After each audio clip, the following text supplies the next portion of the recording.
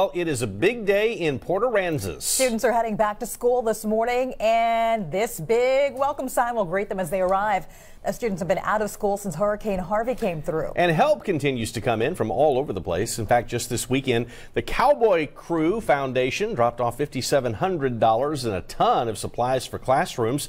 Of course, teachers and staff started preparing, well, even before last week. We did have the opportunity to speak to the principal at Brundrett Middle School, who says that they are more than ready to get started. Community wise, uh, we're ready to have your kids.